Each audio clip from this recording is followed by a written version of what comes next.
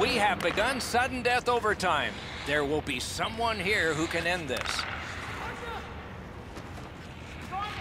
Slides it to the point to Elliott. Lets it go. The Mooseheads have control of the puck in the defensive zone. Out in front of shot. He scores! Game over! Overtime winning goal! And this one goes into the books.